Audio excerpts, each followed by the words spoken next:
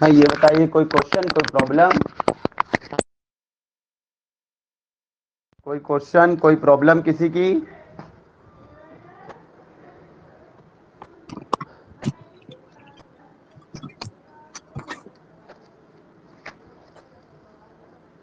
बताइए भाई।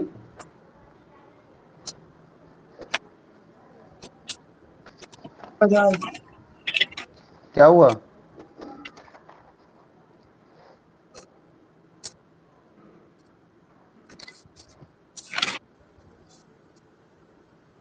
Question number बीस बता दीजिए। क्वेश्चन बीस। अच्छा अच्छा। शिवांगी कुछ पूछना नहीं है?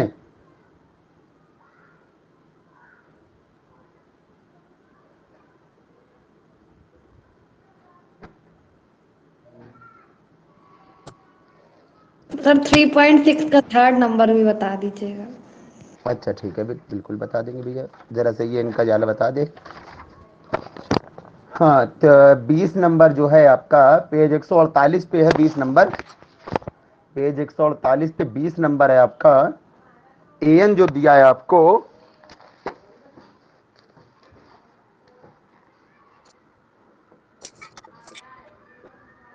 ये मल्टीपल करेक्ट का क्वेश्चन है। ये जून 2018 में आया था ये क्वेश्चन क्या लिखा है आपको? 20 नंबर में कह रहा है कि ए एन आपको दिया है one by ten to the power hundred, two की पावर एन। यार एक दिन पौने छह बजे लगाया था, कोई ज्वाइन नहीं करे थे एक दो लोग थे खाली। पंद्रह मिनट तो खाली, छह बजे तक तो खाली शिवांगी के अलावा कोई था ही नहीं। इसीलिए फिर हमने नहीं लगाया, इसीलिए हम छह बजे, छह पाँच तक लगाते हैं। जब लगाओ तो कोई रहता नहीं है। जबकि एक दिन पहले बताया भी था कि आ, क्लास पौने छह बजे लगाएँगे हम क्लास कल से। तो सुनिएगा जरा भाई तो कह रहा है ये आपको ए एन बी क्या हुआ? अच्छा अच्छा। कह रहा है which of the statement is true कौन सा ऑप्शन ट्रू है? कौन सा ट्रू है?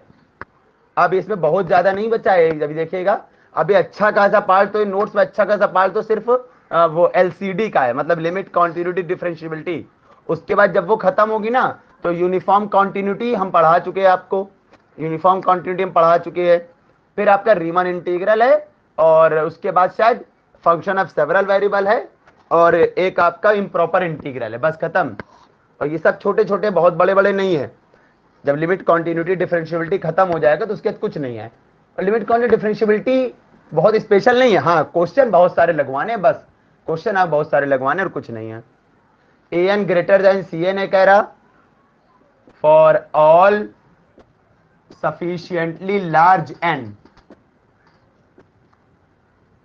large n पहला ऑप्शन दूसरा कह रहा b n greater than b n greater than c n है।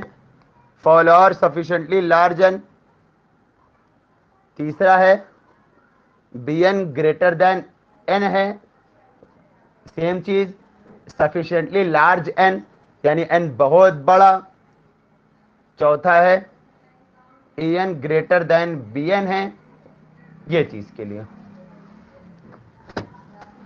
भैया, एक बात बताए। A n greater than b n a n greater than c n है कि नहीं है? पहले तो ये बात। भाई ए एन है और ये आपका सी एन है। भाई, ये किसी नंबर का स्क्वायर हो रहा है ना। जब ये स्क्वायर हो रहा है तो ये वाला बड़ा होएगा। नहीं सॉरी सॉरी सॉरी सॉरी नहीं, ये नहीं बड़ा होगा। टू की पावर वाला बड़ा होगा। ये वाला बड़ा होगा।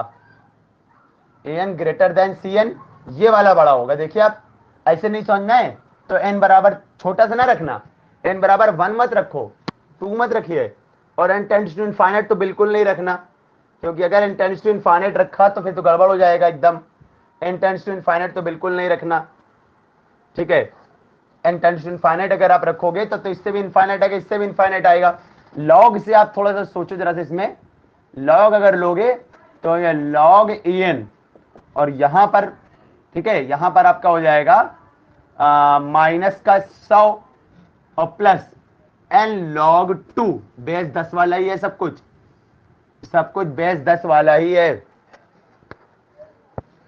अच्छा ये वाला अगर लोगे आप ये वाले में लॉग लोगे तो हो जाएगा लॉग सी एन और ये हो जाएगा माइनस का टेन लॉग टेन वो तो वन होता है, और प्लस टू लॉग एन अब ये खुद ही सोच लो, ये एन लॉग टू बड़ा होता है, ये टू लॉग एन बड़ा होता है। एन लॉग टू बड़ा होता है टू लॉग एन बड़ा होता है। कॉमन सेंस की बात आपको बताए भाई, जब यहाँ एन टू रखोगे तो ये ट्वाइस होगा इसका। जब यहाँ एन टू रखोगे तो लॉग टू लॉग टू तो बहुत छोटा होता है ना point three zero one zero होता है ना, पता होगा। लॉग टू की value point three zero one zero होती है ना लॉग टू की वैल्यू तो। सबको समझ में आ रही भाई? लॉग टू की वैल्यू तो point three zero one zero होती है ना। क्लियर तो इसलिए जब आप एन बहुत बड़ा रखोगे, छोटा सा एन ना रखना, छोटा सा रखोगे तब तो छोटा आ जाएगा। देखो माइनस सौ और अगर एन बराबर वन रख दिया नेगेटिव आ जाएगा और जिसमें एन बराबर वन रखोगे ये ये, ये आपका माइनस टेन आ जाएगा। तो ये ज़्यादा नेगेटिव आएगा तो ऐसे छोटा हो जाएगा उनका सफिशियंटली लार्ज एन यानी एन बहुत बड़ा मन में सोचो। एन मन में सोचो कि करीब एक लाख एन मान लो एन जो है दस की पावर पचास है। इस टाइप का कुछ सोचो। एन मान लो दस की पावर पचास है। इस टाइप का कुछ सोचो। तो दस की पावर में पचास रखोगे और एक यहाँ पर दस की पावर पचास रखोगे। दोनों में फ़र्क है। अगर दस एन बराबर दस की पावर पचास ऊपर वाले में लोगे, थोड़ी देर के, थोड़ी देर के लिए एग्ज़ाम्पल लेना एन बराबर दस की पावर पचास ले लिया हमने। तो ऊपर वाले में ए ऑप्शन में देखना जरा सा भाई सॉरी ए में देखना। तो कितना है जरा बताना? Log a n equal to minus का सौ और एन की जगह दस की पावर पचास लॉग टू दस की पावर पचास लॉग टू अच्छा भाई दूसरे वाले में आ जाओ जरा, नीचे वाले में। ये क्या लिखा है? लॉग सी एन माइनस का टू लॉग दस की पावर पचास, और ये आपका कितना आ जाएगा? माइनस था, पचास दूनी हो जाएगा सौ, और ये लॉग दस। खुद ही देख रहा है कौन बड़ा है? ये तो सिर्फ़ नब्बे आया। और ये, अरे ये बहुत बड़ा नंबर आएगा। तो ए एन बड़ा है सी एन से। ये वाला ऑप्शन सही है। एन छोटा ना लेना। एन खूब बड़ा मन में सोचना। दस की पावर पचास है नॉट पाँच। एन खूब बड़ा सोचना। फिर कह रहा बी एन सी एन से ज़्यादा है? अरे नहीं पॉसिबल है भाई। बी एन कहाँ सी एन से ज़्यादा हो जाएगा? ये लॉग एन लिखा हुआ है। ये नंबर मत देखना, क्योंकि एन बहुत बड़ा है और ये नंबर फिर भी छोटे हो जाएँगे। ठीक है ना? बी एन सी एन से ज़्यादा नहीं होएगा। एन बहुत बड़ा है, दस की पावर पचास भी नहीं, और बड़ा है। ये तो हमने इसे ले लिया दस की पावर पचास। दस की पावर एक लाख, दस की पावर दो लाख, ऐसे इस तरह लो। ठीक है ना? इस तरह से पावर मानना। तो फिर इसके कंपैरिजन में बड़ी पावर मानना। जब ये दस की पावर सौ है ना तो एन को और बड़ा ही मानना। ठीक है ना? एन को बड़ा ही मानना। ध्यान से रखना। एन मन में सोचो, खूब बड़ा। दस की पावर एक लाख। ये मान लो। ठीक है? तो आपका बी एन जो है, वो सी एन से बड़ा नहीं आएगा, क्योंकि ये लॉग एन और ये एन स्क्वायर है। जब एग्ज़ाम्पल के लिए मन में सोचो, थोड़ी के लिए इसको थोड़ी देर निगलेक्ट कर दो। ये निगलेक्ट हो जाएगा। भाई, जब एन बहुत बड़ा है ना तो ये निगलेक्ट समझो, ये है नहीं, ये भी है नहीं। अब एन मान लो, आप पाँच रखो।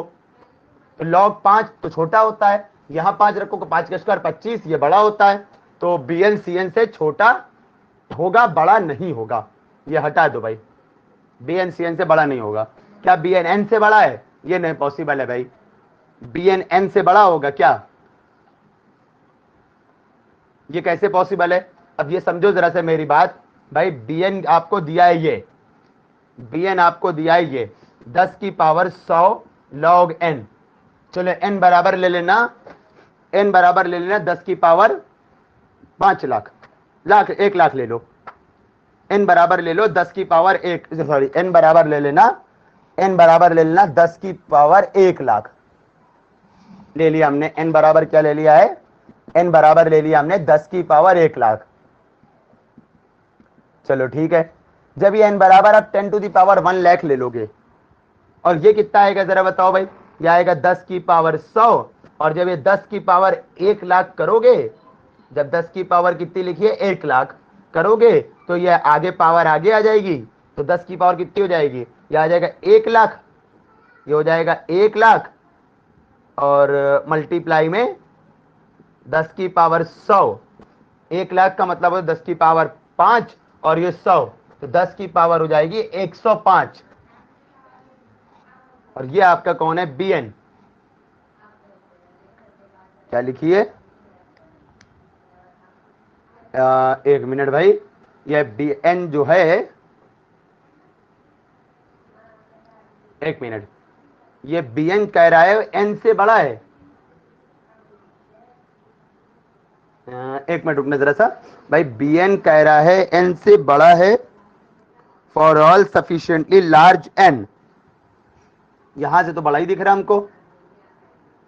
यहाँ से तो बड़ा दिख रहा है बी एन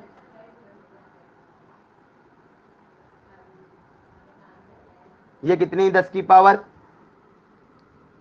नहीं, अरे बिल्कुल बड़ा कहा? सॉरी छोटा है। अरे भैया बी एन है, दस की पावर एक सौ पाँच। और ये दस की पावर है, एक लाख। अरे भाई बी एन छोटा है। सबको दिख रहा है ना जरा सा भाई? थोड़ा सा नीचे हो गया हमसे लिखने ज़्यादा।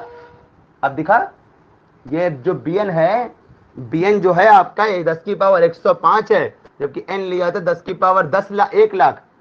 तो बी एन जो है आपका, छोटा आ रहा है। एन बड़ा है तो ये वाला गलत है। इसमें दिया है बी एन बड़ा, ये गलत हो गया। अब बचा ए एन और बी एन में कंपैरिजन कर लो। भाई, सीधी सी बात है एन तो पावर में चल रहा ना टू की पावर चल रहा ना एन में। टू की पावर वाला बड़ा होता है। और ये लॉग वाला, ये तो छोटा, इसको मत सोचना। ये मत सोचना, अरे वन बाई वाला हो गया है ये टेन की पावर हंड्रेड है। ये तो निग्लिजिबल मान के चलो। समझो ये है ही नहीं। ये समझो है ही नहीं। जब एन बहुत बड़ा कह रहे हैं तो समझो ये तो गायब ही कर दो, एकदम मन में सोचो है नहीं। एन के आगे ये तो है ही नहीं, समझो। बस आप इसमें रिलेशन निकालो टू की पावर एन और एन स्क्वायर में रिलेशन निकालो, बस। टू की पावर लॉग एन और एन स्क्वायर को देखो बस आप। समझो ये है ही नहीं। इसको समझो है ही नहीं है भूल जाओ। ठीक है? ये तो समझो आपका है ही नहीं। इसको भूल जाओ। अब खुद ही बताओ जरा सा भाई, टू की पावर एन बड़ा होता है कि लॉग एन बड़ा होता है? टू की पावर एन बड़ा होता है कि लॉग एन बड़ा होता है? बताने ज़रूरत नहीं है। टू की पावर एन बड़ा होता है लॉग एन छोटा होता है भाई। एन बराबर पाँच ले लो तो टू की पावर पाँच बड़ा होता है लॉग टू बड़ा होता है? टू की पावर सॉरी टू की पावर पाँच बड़ा होता है कि लॉग पाँच बड़ा होता है? हमेशा भाई टू की पावर एन जो होगा, वो हमेशा लॉग एन से बड़ा होता है। ठीक है? इसलिए आपका ए एन बड़ा होगा और बी एन छोटा होगा। ये चौथा भी सही है। कोई डाउट हो तो बताइए। समझना ज़्यादा है और कुछ नहीं है इसमें। और लोग बताइए भाई।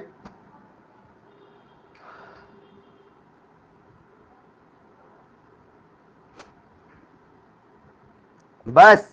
अच्छा थ्री पॉइंट सिक्स का पूछा था अभी शिवांगी ने। क्या क्वेश्चन था भाई? एक मिनट रुकना।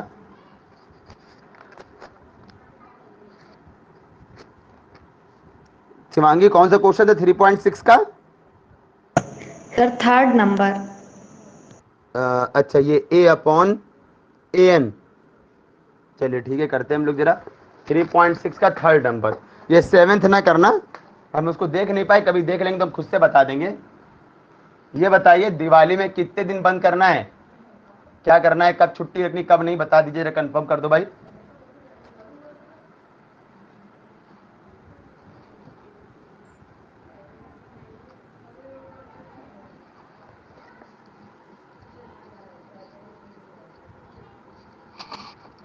दिवाली वाले दिन तो बंद रखना ही होगा वो तो। उसके अलावा और कब बंद रखना है? दिवाली के एक दिन पहले या दिवाली के एक दिन बाद क्या करना है, बता देना जैसा हमको भाई।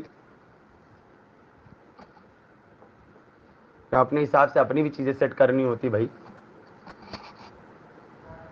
मेरा थोड़ा फ़ंक्शन लगा है घर में, दिवाली के जस्ट बाद वाले संडे को। कह सीक्वेंस ए एन लिया गया है, और ए एन प्लस वन है ना? हाँ हाँ। ए एन प्लस वन दिया है उन्होंने। ए अपॉन ए एन ए आपका ज़ीरो नहीं है. ए वन भी ज़ीरो नहीं है. ए ज़ीरो नहीं है और ए वन भी ज़ीरो नहीं है. ये चीज़ दिया आपको, ठीक है? चलिए, देखते हैं जरा सा। तो इसका निकालना है आपको लिमिट इंफीरियर और लिमिट सुपीरियर चलो कर लेते भाई हम लोग। तो ये क्या हो जाता है भाई, पहले एम एन निकालिए। एम एन होता है supremum of a n a n plus one a n plus two इस तरह से चलता रहता है, ठीक है? अच्छा। यह आपका क्या आ जाएगा? सुप्रीमम ऑफ़ एक मिनट जरा सा मार कर क्या हो गया? ठीक है। हाँ ए एन कौन है आपका? ए एन ए एन ही रहेगा। ए एन प्लस वन उन्होंने दे रखा है। A upon a n a n plus two क्या हो जाएगा? ये आप निकाल लीजिए। ए एन प्लस टू कैसे निकलेगा? भाई ए एन प्लस टू निकालना है तो इसमें एन की जगह एन प्लस वन रखना जरा सा। तो a upon n plus one हो जाएगा। अब एन प्लस वन की ये वैल्यू रख देना। ए एन प्लस वन की ये वैल्यू रख देना। A upon a upon a n है ना ये तो हो जाएगा। A upon a n plus one की वैल्यू है ए अपॉन ए एन ये आपका कट जाएगा तो एन प्लस टू तो ए एन ही हो जाएगा. ए एन प्लस टू तो ए एन ही हो जाएगा. अच्छा अब एन प्लस थ्री जरा बोलना. जब एन प्लस थ्री निकालोगे आप तो इसमें एन की जगह एन प्लस टू रख देना. एन की जगह एन प्लस टू रख देना इसमें. यहाँ पर भी एन की जगह एन प्लस टू रख देना. ये चीज़. अब ए एन प्लस टू तो आपका ए एन आ रहा है. ए एन प्लस टू तो आपका ए एन आ रहा है तो ए अपॉन ए एन ही रहेगा। तो दो ही मिलेगा ये। दो ही टर्म मिल रहे हैं, खाली देखिए ध्यान से। बस, अब फिर अगला निकालोगे आप। ए एन प्लस फोर निकालोगे तो फिर ए एन आ जाएगा। आप चेक कर लो चाहो तो। फिर अगला निकालोगे तो ए अपॉन ए एन फिर आ जाएगा। इस तरह से आ रहा है। या इसको चाहो तो तोड़ ताड़ के भी लिख दो कि जब एन ऑड या इवन इस तरह से लिख सकते हो, लेकिन ज़रूरत नहीं, बस बहुत है। तो क्या मिला आपको फिर ये? फिर ये आपको सुप्रीमम आपका ये आ रहा है। तो इसमें दो ही तो आ रहे हैं खाली, ए एन आ रहा है और ए अपॉन ए एन आ रहा है। ए एन आ रहा है और इसका, और दूसरा ए अपॉन ए एन आ रहा है। तो इसमें बड़ा कौन होगा? भाई, ए एन ही बड़ा आ रहा होगा सीधी से। ए एन ही बड़ा आ रहा होगा बस। तो ए एन आ रहा है और ए अपॉन ए एन, दो चीज़ आ रही है आपकी इसमें।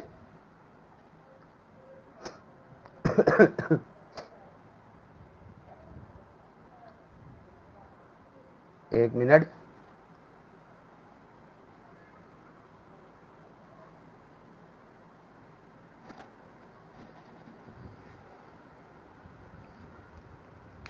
इसका भाई एम एन तो पहले आपका ये आ जाएगा, इसका सुप्रीमम कौन आ रहा है? इसका सुप्रीमम जो है, वो आपका ए एन आ रहा है। ए एन भाई एन बड़ा होगा ए बाई एन छोटा होगा। इसका सुप्रीमम ए एन आ रहा है। अगर अगर आपने यहाँ पर लिमिट लगा दी यहाँ पर, अगर आपने यहाँ पर लिमिट लगा दी है एन टेंस टू इनफाइनाइट ये इन्होंने यहाँ पर एक चीज़ किस तरह से लिखा है?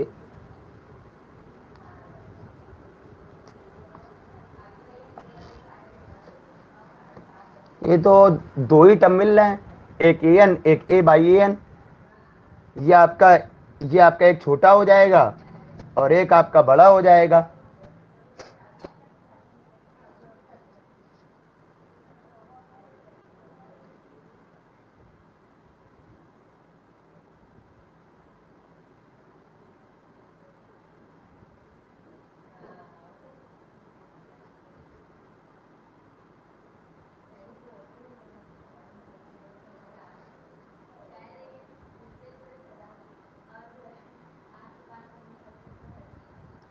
यहाँ पर आपका दो टर्म है, एक ए एन है, एक ए बाई एन है। दो टर्म आ रहा आपका सुप्रीमम, या तो ये आ रहा है, या तो ये आएगा। लेकिन आपका अगर ए एन जो है वो, क्योंकि ए ज़ीरो नहीं है ए वन ए वन भी ए वन ए टू क्या हो जाएगा a by a one a by a one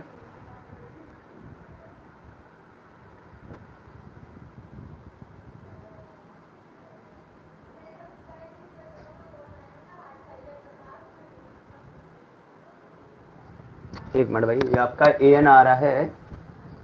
ये ए एन लिखा हुआ, अगर इसको इस तरह से करा जाए तो ये तो आपका ये हो जाएगा। ये होता है, आपको मालूम ही है, ये कौन होता है? ये होता है आपका सुप्रीमम। ये तो सुप्रीमम हो जाता है भाई। और लिमिट, अगर सुपीरियर लिमिट सुपीरियर निकालना है तो हो जाता है सुप्रीमम का इन्फीमम तो इसका इन्फीमम तो ए एन हो जाएगा।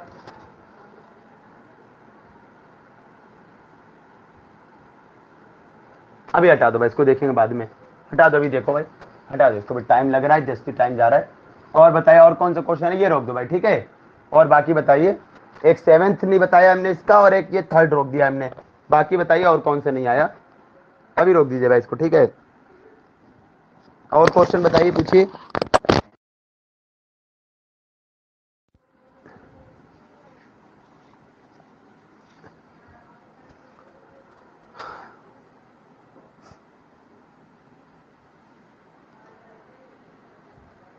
और कोई क्वेश्चन किसी का?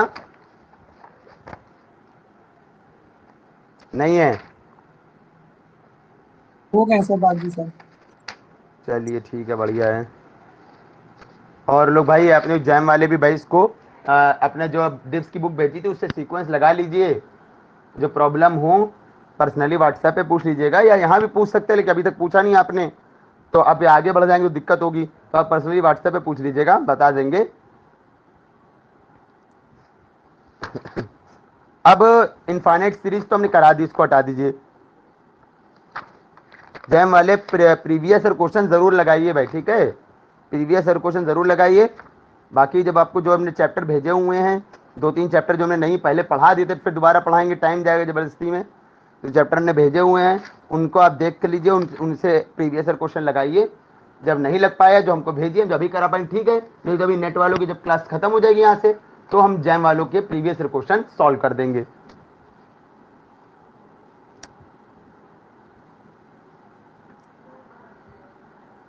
चलिए भाई, ये डिफरेंशियल इक्वेशन चल रही है। जैम वालों जिनको ज्वाइन करना है लाइव ज्वाइन कर सकते हैं। बाकी प्लेलिस्ट का लिंक तो हमने दोनों को भेज ही दिया भाई, जैम वालों को। और किसी डिफरेंशियल इक्वेशन का लिंक चाहिए तो बता देना भाई। प्लेलिस्ट का लिंक भेज देंगे। तो आगे है भाई आपका लिमिट कॉन्टिन्यूटी और डिफरेंशियबिलिटी है आगे अब। L C D chapter six है। ये सब अल्टरनेटिंग सीरीज़ वगैरह, ये सब हम नहीं पढ़ा रहा है। ये सब आप आप लोग नेट वाले पढ़ रहे हैं जैम वालों के लिए ज़रूरत भी नहीं है सब चीज़ों की। तो नेट वाले पढ़ लेना इसको।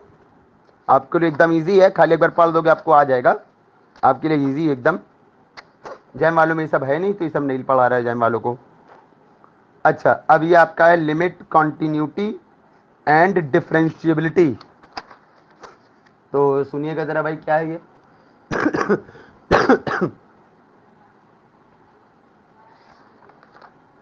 तो सबसे पहले domain range boundedness monotonicity one one onto periodic function ये सब चीज़ें तो आपने पढ़ रखी हैं भाई। डोमेन क्या होता है पता है ना? जिसमें डिफाइन हो। हम एक एग्जांपल लेकर के आपको बताएँगे काफ़ी चीज़ें। एक एग्जांपल लेकर आपको हम काफ़ी चीज़ें बताने की कोशिश कर रहे हैं। जैसे कि उन्होंने दिया हुआ है,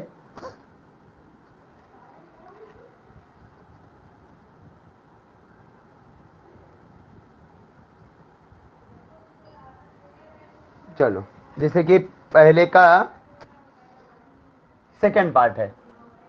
ये चैप्टर नंबर सिक्स पढ़ा रहे हम। अपने नोट से हम लोग चैप्टर सिक्स जो है ना, ये बहुत बड़ा, उन्होंने बहुत सारी चीज़ें रख दी है इसमें। बहुत सारी चीज़ें रख दी यूनिफॉर्म उसके बाद चैप्टर सिक्स बहुत बड़ा, फिर यूनिफॉर्म कॉन्टिन्यूटी ये हम पढ़ा चुके हैं। क्वेश्चन भी खूब सारे लगवाए थे हमने। अच्छे से काफ़ी खुद सारे क्वेश्चन लगवाए थे।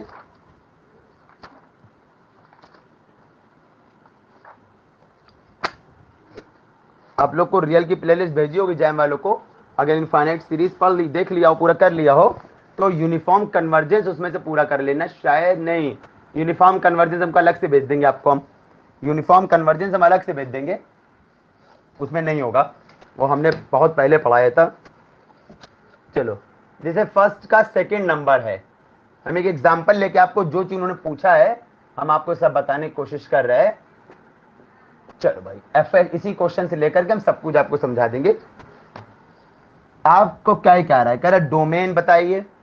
रेंज बताइए बाउंडेडनेस बताइए मैक्सिमम वैल्यू इसकी मिनिमम वैल्यू इसका सुप्रीमम इसका infimum monotonicity one one onto और कॉन्टीन्यूटी डिफरेंशियबिलिटी पीरियोडिक है कि नहीं है? पीरियोडिक है तो इसका पीरियड क्या होगा? जीरोज जीरोज मतलब किस पॉइंट पे फ़ंक्शन ज़ीरो है? जिस पॉइंट पे फ़ंक्शन ज़ीरो होता है, उसे जीरोज और फिर अगला है एसिम्टोट इतनी चीज़ें कही जा रही है। इतनी चीज़ें कही जा रही भाई।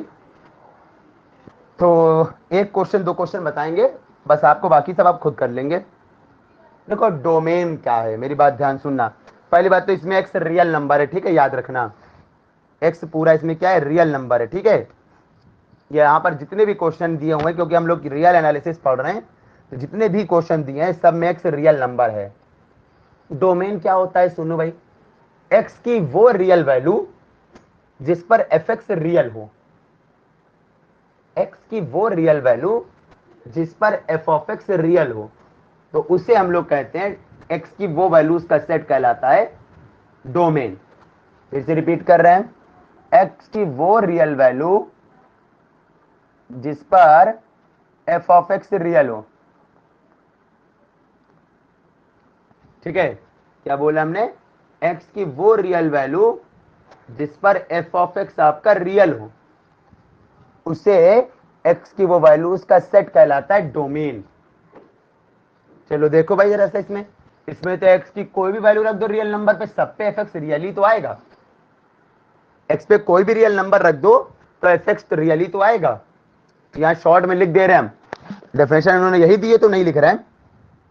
Value of x for which a function is defined वही बात वही है भाई। हम यहाँ लिख दे रहे हैं, ठीक है? उन्होंने ऐसे नहीं लिखा, हम इस तरह लिख दे रहे value real value set of the set of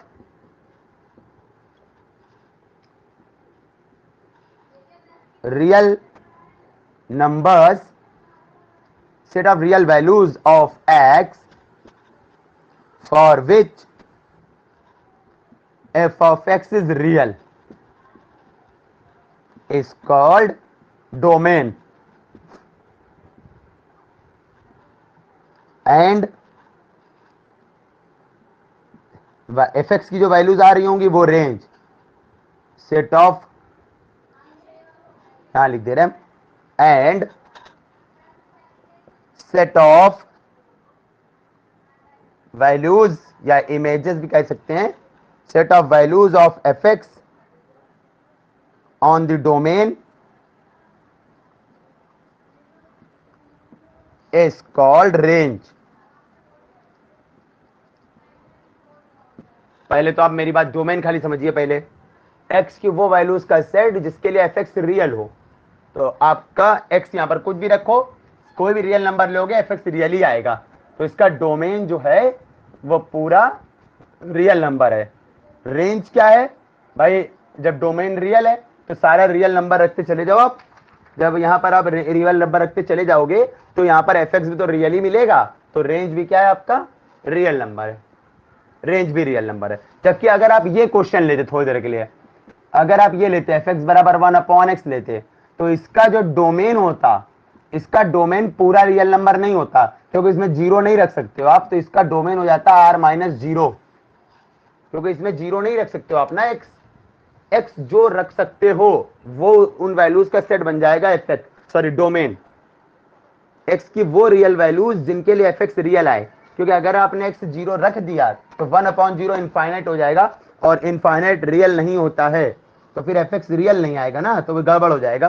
तो इसलिए आपका जो डोमेन है, वो आपका रियल नंबर में से ज़ीरो हटा दो, जो बचेगा वो है।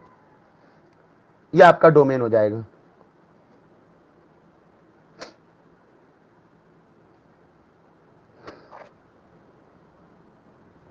अब बात करते हैं हम लोग इसके आगे।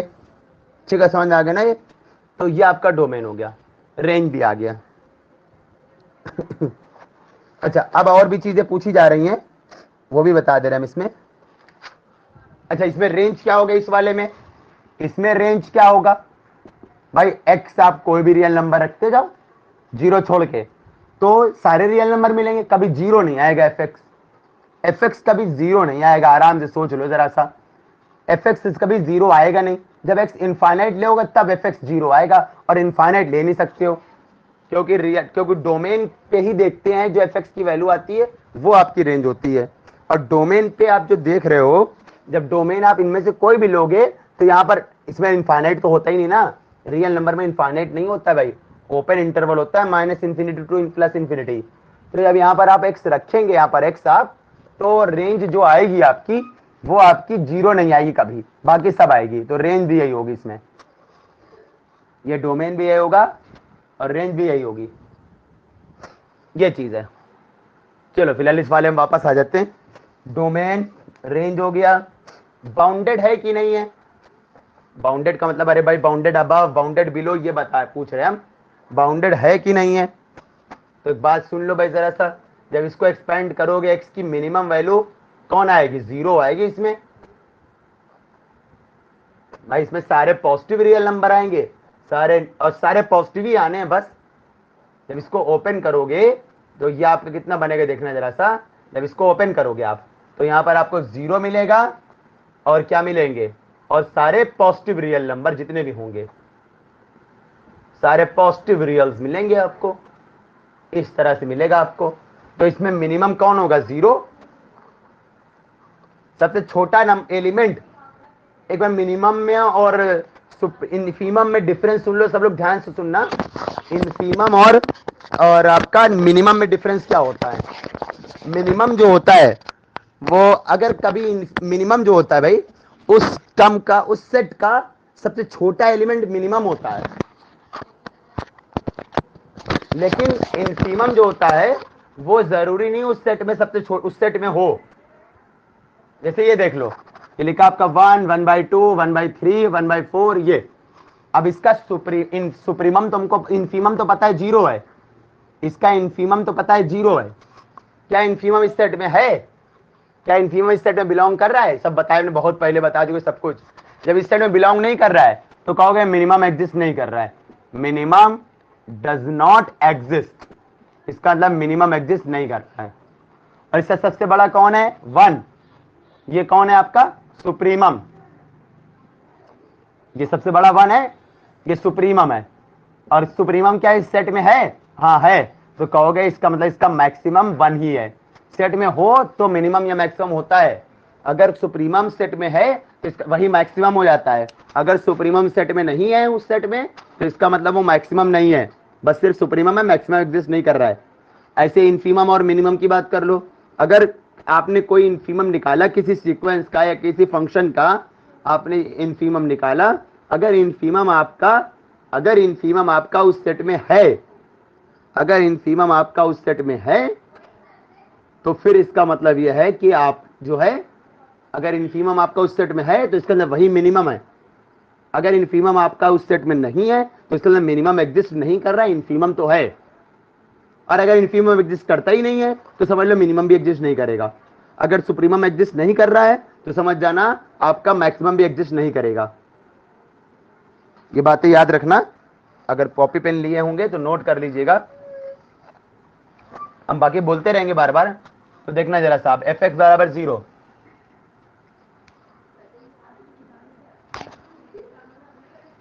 ज़ीरो सबसे छोटा कौन है? ज़ीरो तो सुप्रीम इनफीमम कौन हो गया इसका? इसका इनफीमम है ज़ीरो और इस सेट में है तो यही मिनिमम भी है। इसका मिनिमम भी हो गया है आपका ज़ीरो इसका सुप्रीमम नहीं मालूम तो supremum does not exist supremum exist नहीं कर रहा है भाई।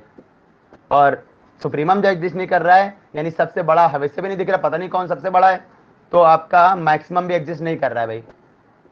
ये चीज़ इतनी बात हो गई।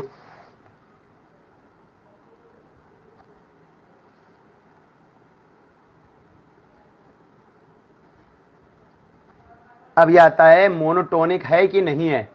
भैया मोनोटोनिक होता ही नहीं फ़ंक्शन कहे, अरे भैया, ये आपका टू मिलेगा। माइनस पे लोगे, बड़ा हो जाएगा, फिर छोटा हो जाएगा। ये मोनोटोनिक होता ही नहीं है ये फ़ंक्शन आप चाहे देख लो। आप देखो जरा। x बराबर जब ज़ीरो लोगे तो ज़ीरो मिल जाएगा। वन लोगे तो वन माइनस वन लोगे, फिर वन मिल जाएगा। ठीक है?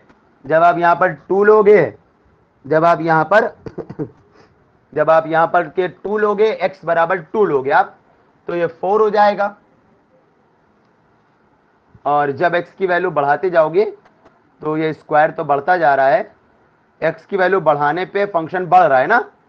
ऐसे देख लो जरा सा, ऐसे गड़बड़ हो रहा है। रुक जा रुक जा रुक जा ऐसे देख लो जरा साहब एक्स की वैल्यू बढ़ाने पे फ़ंक्शन बढ़ रहा है तो आप कहते हो मोनोटोनिक इंक्रीजिंग और अगर एक्स की वैल्यू बढ़ाने पे फ़ंक्शन घट रहा हो तो कहते हैं मोनोटोनिक डिक्रीजिंग और अगर एक्स की वैल्यू बढ़ाने पे फ़ंक्शन बढ़े और फिर घट भी रहे हो, या एक्स की वैल्यू घटाने पे फ़ंक्शन बढ़े, फिर घट भी रहा हो, यानी बढ़ना घटना दोनों हो तो फिर इसका मतलब वो मोनोटोनिक नहीं होता है.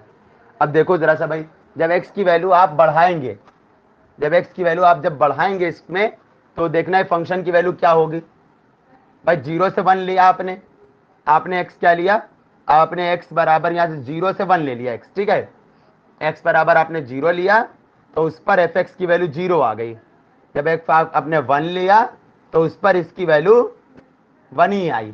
देखते रही ना एक्स बढ़ाया तो एफ़ एक्स बढ़ गया है ठीक है ना? देखते रही ना जब एक्स आपने अरे एक्स लिखना चाहिए हमको। जब एक्स आपने यहाँ पर से आ, नहीं सुख जाओ। ज़ीरो के बाद कौन है? वन ना। ठीक है ठीक है एक्स बढ़ाया तो वैल्यू बढ़ गई। फिर आपने एक्स घटा दिया। एक्स आपने घटा दिया, चलो माइनस टू कर दिया। तो वैल्यू क्या हो गई है? वैल्यू आपकी जब घटा दिया है तो वैल्यू आपकी माइनस दो का स्क्वायर चार। वैल्यू बढ़ गई। तो ये थोड़ी पॉसिबल है ना भाई? जब एक्स बढ़ा रहे हो तो वैल्यू या तो वैल्यू बढ़ रही है। जब एक्स घटा रहे हो तो वैल्यू घटनी चाहिए ना। तब होता मोनोटोनिक एक टोन मोनोटोनिक मतलब जो एक टोन या तो फ़ंक्शन सिर्फ़ बढ़े या तो सिर्फ़ घटे। ठीक है ना? या तो फ़ंक्शन सिर्फ़ बढ़े या तो घटे। यहाँ पर एक्स की वैल्यू घटाने पे फ़ंक्शन बढ़ रहा है। इधर बात, इधर से इधर देखो। यहाँ पर घटाने पर इधर से इधर देखो। यहाँ पर घटाने पे फ़ंक्शन घट रहा है। एक्स वन से ज़ीरो कर दिया तो फ़ंक्शन वन फ़ंक्शन वन से ज़ीरो हो गया। यहाँ पर एक्स की वैल्यू घटाया तो फ़ंक्शन क्या हो गया? जब एक्स घटाया तो फ़ंक्शन की वैल्यू बढ़ गई। तो ये घट घट, वो बढ़ भी रहा है, घट भी रहा है। दोनों चीज़ हो रही है। तो जितने भी आप जब वैसे भी आपको क्लियर बात बता दे एकदम। जब आप ज़ीरो से इनफाइनाइट लोगे, यानी जब आप जब आप एक्स ज़ीरो से इनफाइनाइट लोगे, यानी मतलब क्या हो गया है? एक्स पॉजिटिव में लोगे, तब तो ये आपका बढ़ता चला जाएगा फ़ंक्शन हाँ एक्स पॉजिटिव ले लो आप। एक्स पॉजिटिव ले लो, या फ़ंक्शन बढ़ता चला जाएगा। तब तो इंक्रीजिंग हो जाएगा ये। एफ़ एक्स इज़ इंक्रीजिंग तब तो इंक्रीजिंग हो जाएगा भाई। एक्स बढ़ा रहे हो आप। बिल्कुल सही बात है।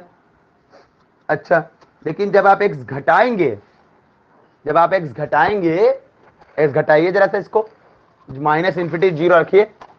जब एक्स माइनस इंफिनिटी से ज़ीरो रखेंगे मतलब इस तरफ़ इस तरफ़ आइए। ये आपका ज़ीरो है, ये इंफिनिटी है, ये माइनस इंफिनिटी है, ये इंफिनिटी है। ऐसे।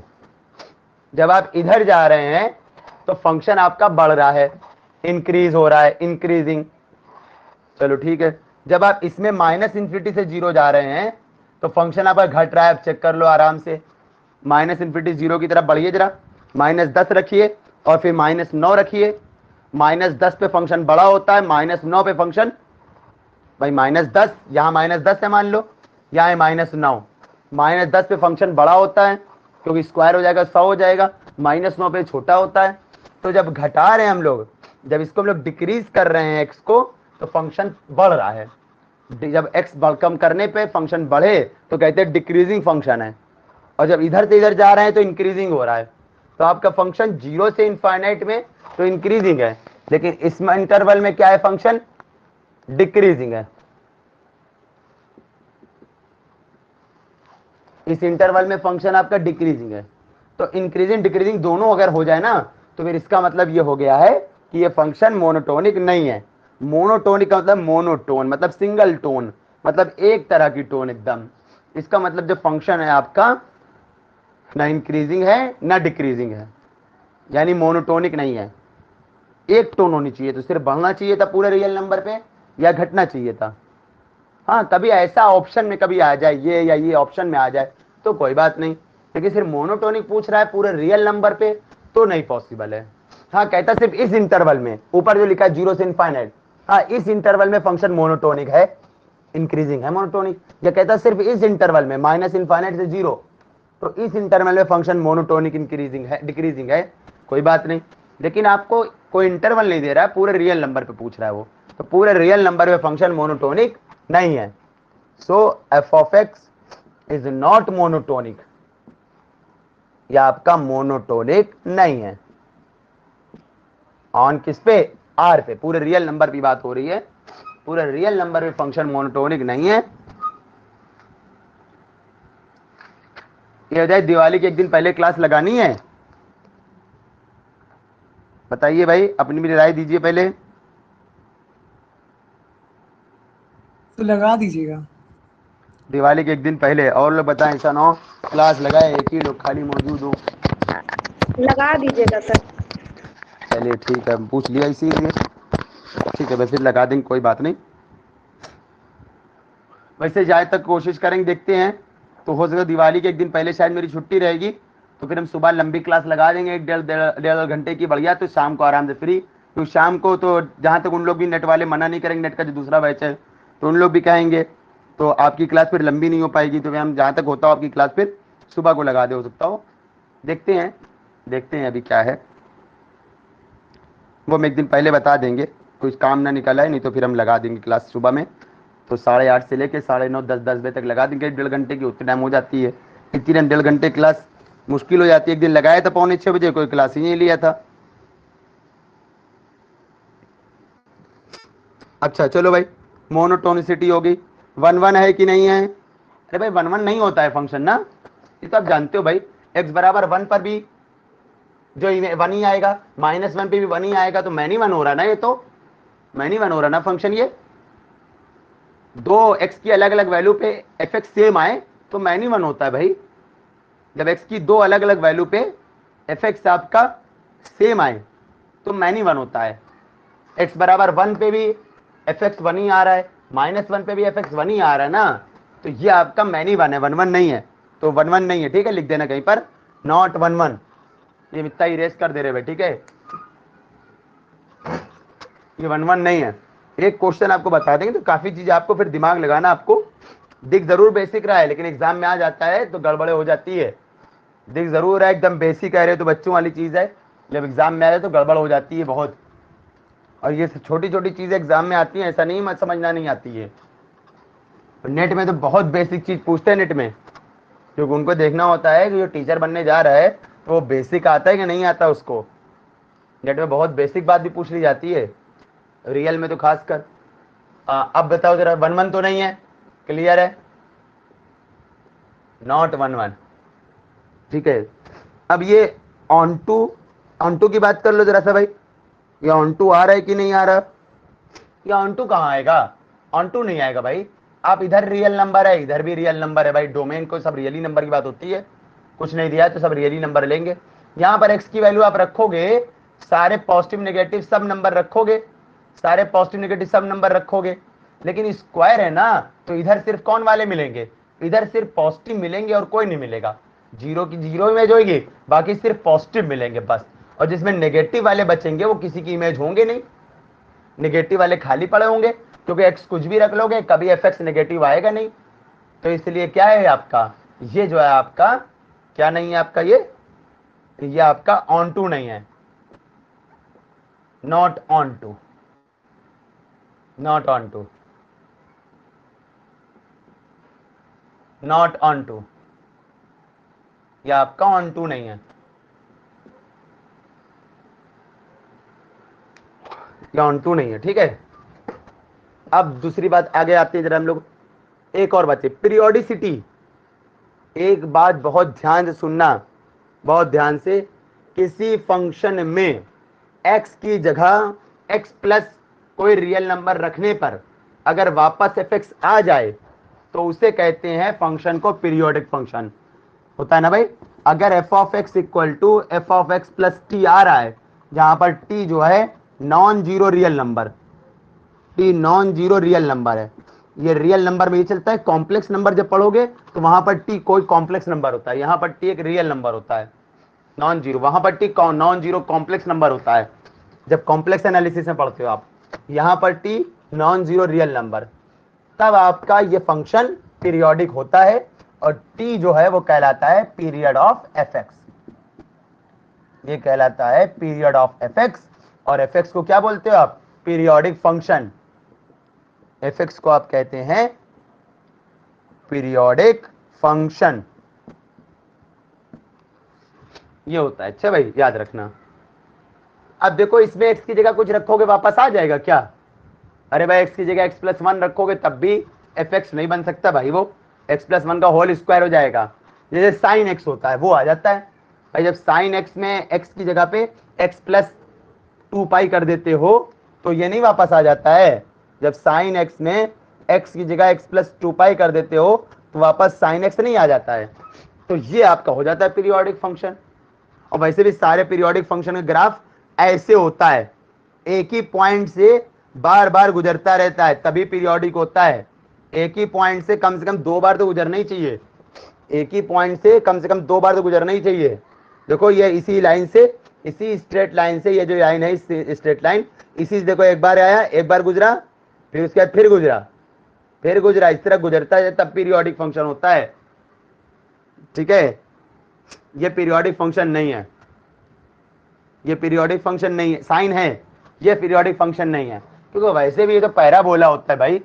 ये तो पैरा बोला होता है। अब पैरा बोला कभी लौट के आता है क्या? एक बार चला तो फिर कभी वापस नहीं आता है, चलता रहता है, आगे इस तरह बढ़ता रहता है भाई। तो पैरा बोला तो पीरियोडिक तो वैसे भी नहीं होता है। और वैसे भी आप ये ध्यान रख लो भाई, जब एक्स की जगह कोई फ़ंक्शन दिया हो, उसमें एक्स की जगह एक्स प्लस कुछ रखा जाए माइनस नहीं प्लस जब एक्स की जगह पे एक्स प्लस कुछ रखा जाए, और वापस फ़ंक्शन की वैल्यू वही आ जाए तो आप कहते हो फ़ंक्शन पीरियोडिक है, लेकिन ज़ीरो ना रखना बस। एक्स की जगह x plus one by two रख लो एक्स प्लस पाई रख लो x minus x pi x plus कुछ भी रख लो एक्स प्लस करके। बस एक्स प्लस ज़ीरो ना करना, तब तो हमेशा वही बना रहेगा। तो एफ़ एक्स आपका पीरियोडिक फ़ंक्शन नहीं है। क्योंकि यहाँ पर आप एक्स कुछ भी रख लो, ठीक है ना? हमारे जो क्वेश्चन है, इस क्वेश्चन में आप यहाँ पर आपका एफ़ एक्स प्लस टी जब निकालोगे तो हो जाएगा एक्स प्लस टी का होल स्क्वायर और आप देख लो एफ़ एक्स प्लस टी जो है वो आपका एफ़ एक्स के इक्वल नहीं आ सकता है। ये एफ़ एक्स है एफ़ एक्स प्लस टी है। यहाँ पर एक्स कुछ टी कुछ भी रख लो। टी कुछ भी रख लो, कभी एक्स स्क्वायर के इक्वल नहीं आएगा। बस ज़ीरो ना रखना। तो ये पीरियोडिक नहीं है। नॉट पीरियोडिक पीरियोडिक नहीं है। एक क्वेश्चन बता दें, फिर काफ़ी हद तक आप कर लो काफ़ी सारे। लेकिन अभी आगे वाले चाहे दिक्कत करें आपको, लेकिन काफ़ी हद तक आप कर लेंगे। अच्छा एक बात और बता दे जरा भाई। ये कुछ नॉलेज की बात है ऐसे ही। पीरियड से रिलेटेड पीरियड से रिलेटेड कुछ नॉलेज की बात है। क्या है कि अगर आपका एफ़ ऑफ़ एक्स कभी भी आपको साइन एक्स दिया है साइन क्या लिख दे भाई जरा n x cos n x पहले साइन एक्स आ जाओ। Sine x cos x tan x cot x sec x cosec x हम यहाँ लिख दे रहे पीरियड साइन एक्स का पीरियड टू पाई होता है कॉसेक्स का भी टू पाई होता है टेन का पाई कॉट का पाई और सेक और कॉसेक का वही होता है जो साइन और कॉस का होता है भाई टू पाई टू पाई अब दूसरी बात सुन लेना जरा सा भाई, क्या आ जाना जरा सा? साइन एन एक्स की बात करो जरा सा। अगर साइन के साथ कोई नंबर मल्टीप्लाई में आ जाए, मान लो साइन ए एक्स कह दिए हम cos a x tan a x sec a x cosec a x इनके अगर आपको पीरियड निकालने हैं तो ये जो पीरियड होता है, इसमें इनका ए का डिवाइड हो जाता है। एक्स के साथ जो रहता है, उसका डिवाइड तो टू पाई बाई ए इसका भी टू पाई बाई ए इसका भी, इसका तीसरे वाले का टेन वाले पीरियड में ए का डिवाइड पाई बाई ए अब टेन टू एक्स का पीरियड पूछे तो पाई बाई टू कह देना, ठीक है? कॉटे कॉटेक्स का पीरियड में कॉटे एक्स की पीरियड में पाई बाई ए ये ये तो वही होता है जो सेक का कॉस का, जो सेक का वही सेम होता है। कॉसेक और साइन का सेम होता है भाई, ठीक है? टू पाई बाई ए और टू पाई बाई ए ये बात याद रखना, ठीक है? ये पीरियड के लिए बात होती है, ये याद रखना भाई। पीरियड तो बहुत बड़ी चीज़ होती है, आपके में इतना नहीं है आई टी जे में बहुत पूछा जाता है, बहुत पढ़ा है पीरियड दो फ़ंक्शन के सम का पीरियड कैसे होता है? इस तरह बहुत सारी चीज़ें होती है, लेकिन इतनी ज़रूरत नहीं है, आपके में इतनी चीज़ें नहीं पूछता है कभी भी। जो आई टी जेई वगैरह में पीरियड के बारे में ज़्यादा पूछता है, आपकी में नहीं पूछे कभी ये सब चीज़ें।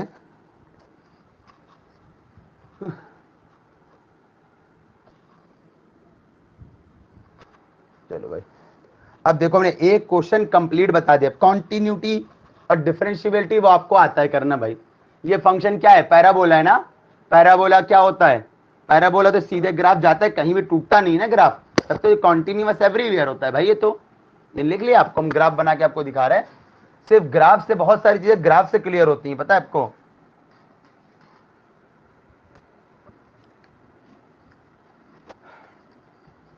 भाई ग्राफ बनाना तो बहुत मुश्किल है, बताना बहुत ज़्यादा टाइम चला जाएगा। आप इतने बड़े क्लास में हैं हाई स्कूल इंटर में नहीं है। आपके पास प्ले विद ग्राफ की बुक है आपके पास, हमने भेजी है पीडीएफ फॉर्म में। जिनके पास ना हो तो हमको मैसेज कर देना, भेज देंगे। प्ले विद ग्राफ की बुक टेलीग्राम से ही मैसेज करना, क्योंकि टेलीग्राम पे ही बुक है वो। टेलीग्राम पे बुक है, सिर्फ़ हम फॉरवर्ड कर देंगे, बस वो। तो उसमें बहुत सारे ग्राफ दिए हैं ग्राफ बनाए कैसे जाते हो तो आपको बताइए भाई। एक्स की वैल्यू रख रख के एफ़ एक्स की वैल्यू निकाल लो। जो बड़े बड़े टफ ग्राफ होते हैं, वो कैसे बनते हैं, वो वहाँ पर आपको सीखने को मिल जाएगा। यहाँ पर तो हम ग्राफ बनाना तो नहीं बता सकते, बहुत ज़्यादा प्रॉब्लम हो जाएगी। हाँ अब सुनो जरा मेरी बात ध्यान ग्राफ से सुनना कैसे करेंगे इसको? ये लिखा है वाई बराबर एफ़ एक्स स्क्वायर लिखा है बताइए आपको? वाई बराबर एक्स स्क्वायर का मतलब होता है ये वाला, है ना? ये वाला ऐसे पैराबोला कहीं ग्राफ ब्रेक नहीं हो रहा है ना, इसलिए कॉन्टिन्यूस एवरीवेयर कॉन्टिन्यूस एवरीवेयर कहीं ब्रेक नहीं हो रहा ग्राफ तो ज़रूर नहीं, आप R H L L H L करके निकालो। कहीं ग्राफ ब्रेक नहीं हो रहा ना तो कॉन्टिन्यूस एवरीवेयर अगर ये लेते, अगर आप ये ले लेते, ये ले लेते आप तो ये ज़ीरो पे ग्राफ ब्रेक हो जाएगा ना। वन अपॉन एक्स वाले जो ग्राफ है, वो ज़ीरो पे ब्रेक हो जाएगा ना। क्योंकि ज़ीरो पे तो इनफाइनाइट आ जाएगा। तो ये कॉन्टिन्यूस होगा आर माइनस ज़ीरो में। कॉन्टिन्यूस होगा आर माइनस ज़ीरो में। यानी ज़ीरो पे कॉन्टिन्यूस नहीं होगा। जो कॉन्टिन्यूस होगा वो आर माइनस ज़ीरो में होगा।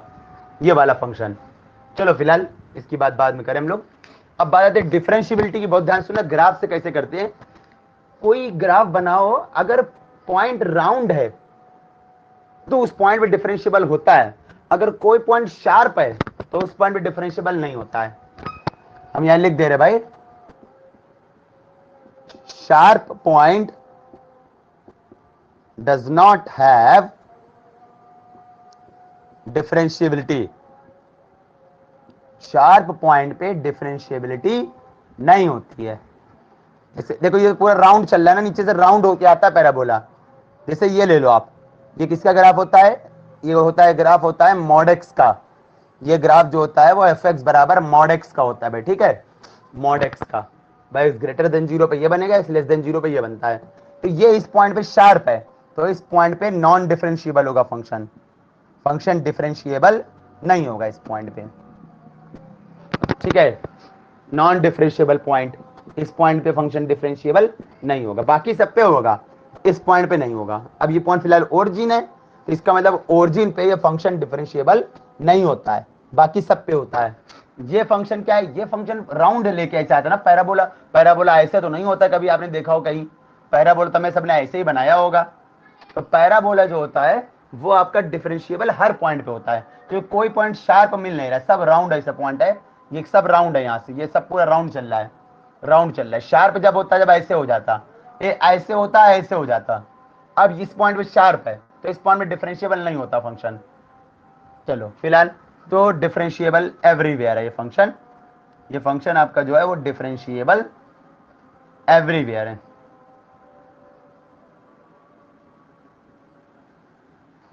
ये चीज़.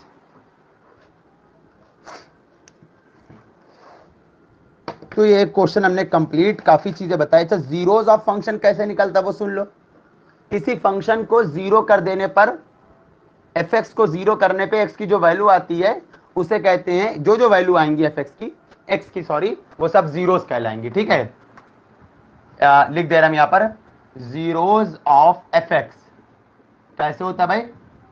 आप क्या करो putting f x equal to zero कर दीजिए। तो देन एक्स की जो भी वैल्यूज़ आ रही होगी यहाँ पर एक वैल्यू दो वैल्यू जो भी आ रही होंगी वो पूरा सेट कहलाएगा जीरोज ऑफ़ एफ़ एक्स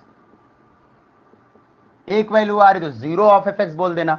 अगर एक्स की एक से ज़्यादा वैल्यू आ रही है तो फिर आपको जीरोज ऑफ़ एफ़ एक्स बोल देना।